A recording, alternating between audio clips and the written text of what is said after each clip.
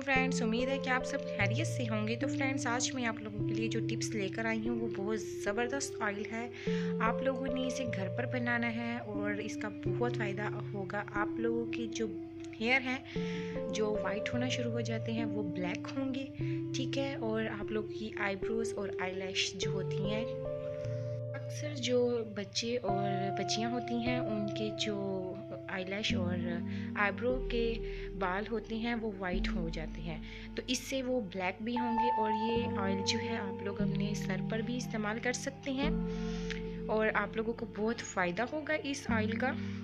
और किस तरह इस्तेमाल करना है। इस ऑयल को बनाने के लिए आप लोगों को सिर्फ़ दो चीज़ों की ज़रूरत है और जो इसमें इस्तेमाल होने वाले ऑयल्स हैं, वो मैं आप लोगों को बता दूँगी कौन सा ऑयल्स किस के लिए इस्तेमाल होता है और बालों के लिए, आप लोगों ने सर के बालों के लिए कौन सा ऑयल इस्तेमाल करना है और अपनी पलकों के लिए और बहुओं के लिए आप लोगों ने कौन सा ऑयल इस्तेमाल करना है। तो आप लोगों ने सबसे पहले क्या करना है कि आप लोगों ने चुकंदर ले लेना है और फिर आप लोगों ने एक मीडियम साइज़ की प्याज ले लेनी है, ठीक है? आप लोगों ने इसके स्लाइस जो है वो बिल्कुल बारीक बारीक करने हैं ताकि ये अच्छे तरीके से अंदर तक जल जाएँ। और जैसा कि वीडियो में दिखाया गया है, जिस तरीके से इसको जलाना है आप लोगों ने सेम इसी तरीके से मुकम्मल जलाना है ताकि कोई कच्चापन इसमें मौजूद ना रहे या कोई पानी वगैरह इसमें मौजूद ना रहे ताकि ये अच्छे तरीके से पाउडर बन जाए। आप लोगों ने जब इसको मुकम्मल तरीके से जला लेना है दोनों चीज़ों को तो ठंडा करने के बाद आप लोगों ने इसको ग्राइंड कर लेना है। इसका पाउडर बना लेना है, जैसा कि वीडियो में दिखाया गया है। उसके बाद आप लोगों ने सर के बालों के लिए जो ऑयल बनाना है, उसमें आप लोगों ने सरसों का ऑयल लेना है। उसके अंदर आप लोगों ने इसे ऐड कर देना है पाउडर को और इससे आप लोगों के बाल जो हैं वो सर के काले भी होंगे और आप लोगों के बाल लंबे भी होंगे और घने भी होंगे, ठीक है? और खुश्की वगैरह का मसला भी हल हो जाएगा।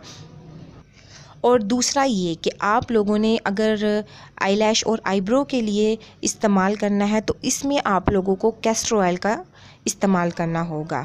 आप लोगों ने ये पाउडर कैस्ट्रो ऑयल में डालना है थोड़ा सा और जैसा कि मैंने एंड पर दिखाया है कि वन टेबल स्पून हम लोगों ने बचा लिया था, वो कैस्ट्रो ऑयल में डालना है उससे आप लोगों के कुछ जो होते हैं लड़के लड़कियाँ, उनके बाल जो होते हैं आईब्रोज़ या आईलैश के वाइट हो जाते हैं। इसकी वजह से वो ब्लैक भी होंगे, ये आप लोग बाद में मस्कारे वगैरह में डाल लेना। तो आप लोगों ने यह हाथ की मदद से इसको अपनी आईलैश या आईब्रो पे, इससे आप लोगों की आईलैश और आईब्रो घनी बहुत ज़्यादा हो जाएँगी और ब्लैक भी होंगी और लंबी भी होंगी।